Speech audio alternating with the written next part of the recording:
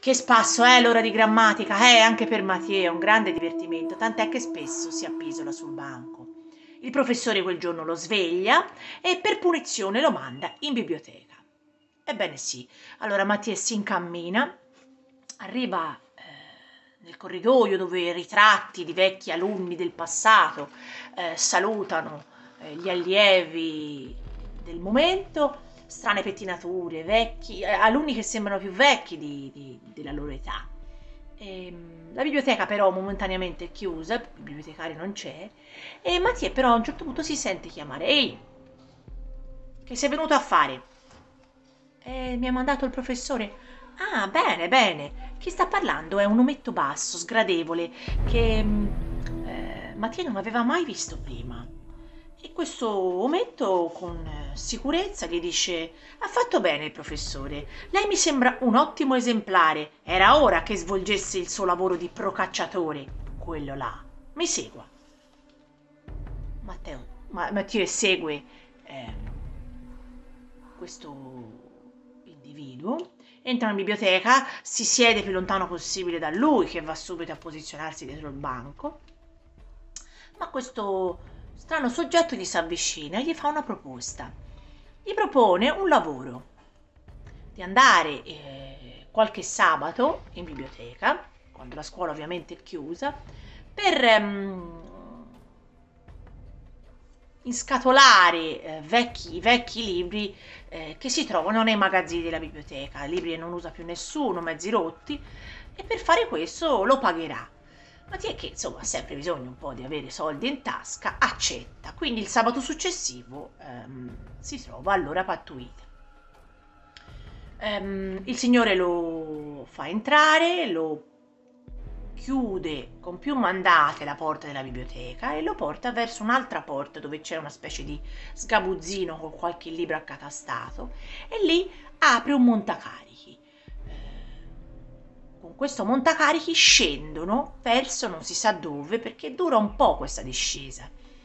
E arrivano in uno stanzone all'inizio totalmente buio, inquietante, poi vengono accese eh, le luci al neon e Mattia si trova in un enorme magazzino pieno di banchi sfasciati accatastati, sedie, mappamondi, eh, vecchie cartine. E andando avanti ci sono anche Mm, bocce strane, probabilmente con eh, resti di esperimenti scientifici, ma anche eh, insetti mh, mm, infilzati con spilli ehm, che sono probabilmente mh, mm, qualcosa legato al laboratorio scientifico che chissà prima c'era a scuola. Ci sono anche eh, pappagalli imbalsamati, serpenti imbalsamati e più va avanti più eh, scopre anche animali ass- strani, tipo un pipistrello enorme. E ehm, questo signore poi lo porta nel vero deposito dei libri, che sarà quello dove Mattia dovrà compiere il suo lavoro e gli dice: Bene, ti sei portato da mangiare. E Mattia ovviamente pensava di stare un po' di ore, ma non. Vabbè, te lo porterò io. E se ne va.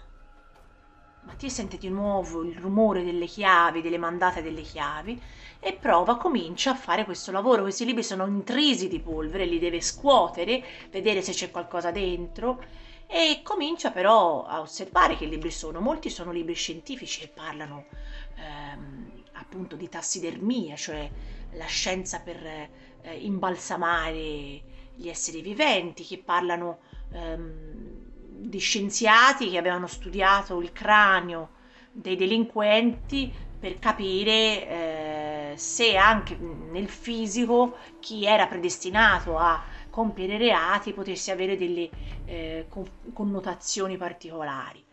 Mm, il tempo però passa, questo strano individuo non torna, Mathieu non sa nemmeno quasi meno male ha il cellulare, lui non è molto attaccata al suo cellulare, per fortuna però ce l'ha, e quindi a un certo punto ha una gran fame, ha sete, non ha acqua, eh, si accorge che è già pomeriggio inoltrato. Allora vuole provare a chiamare almeno a casa, ma ovviamente non c'è campo. Comincia crescere l'ansia, l'angoscia, la paura eh, che sia stato abbandonato lì sotto.